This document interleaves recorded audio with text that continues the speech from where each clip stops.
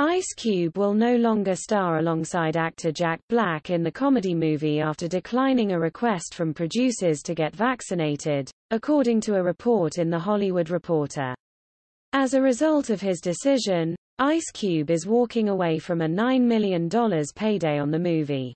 Oh Hell No was set to begin shooting this winter in Hawaii but is now reportedly pushing back its start date as it looks to replace the actor. Hollywood doesn't have an industry-wide vaccine mandate for movie or TV shoots, with individual productions developing their own rules regarding the vaccine.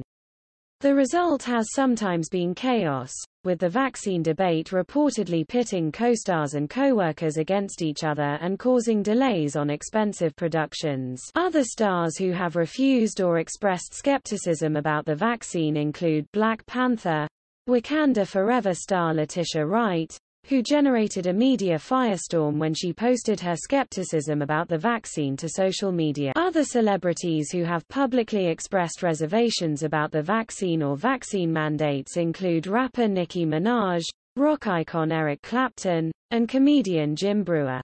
Ice Cube has been a promoter of masks, reportedly donating 2,000 masks in August to students at Bacone College in Oklahoma. The rapper-turned-actor has not been shy about bucking left-wing Hollywood groupthink to follow his own beliefs.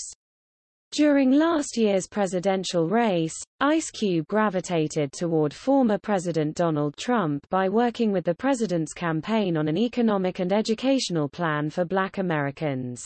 As a result, Ice Cube was ridiculed by the mainstream media for crossing the political divide.